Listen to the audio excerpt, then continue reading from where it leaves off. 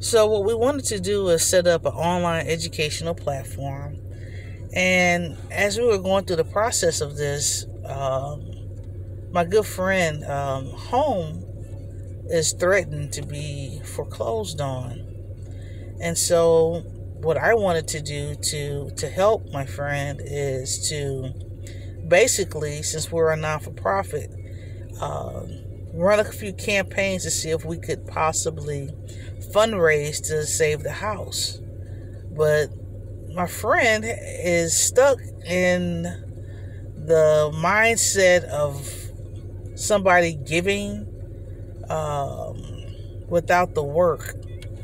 And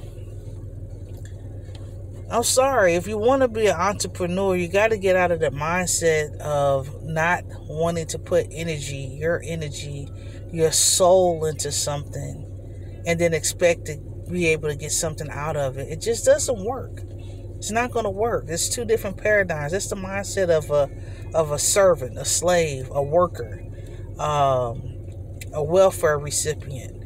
Uh, and I'm not putting down welfare recipients because there is a time when I actually had to use welfare, but I used the welfare. I didn't make it a lifestyle. If and you said, well, what do you mean by that?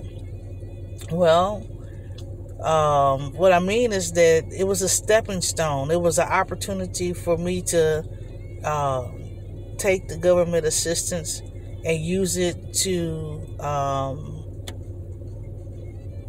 establish myself, not to create a lifelong relationship of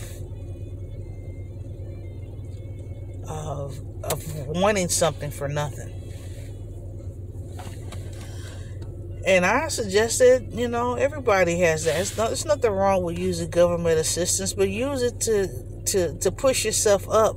Don't don't use it to um, have a lifestyle of not living to your potential. I guess I could put it like that.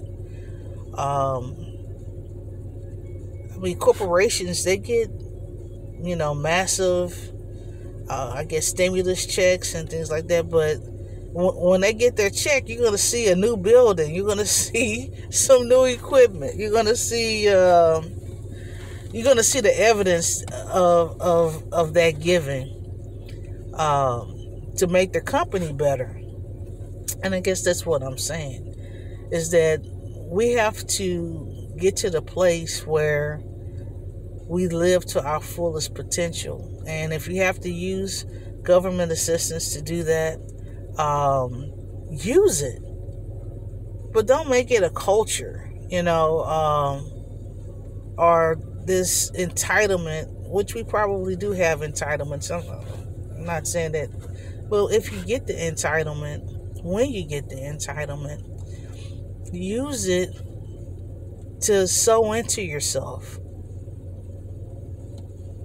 Sow into yourself. Plant plant seeds in your field so that you can live to your fullest potential.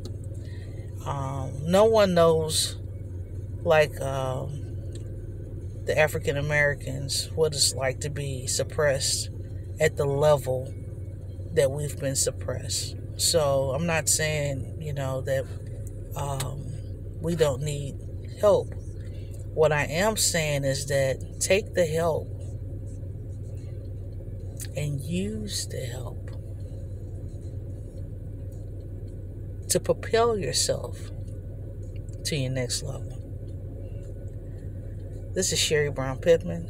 I'm with Sankofa Reform and Research. We provide educational online platforms. Thank you.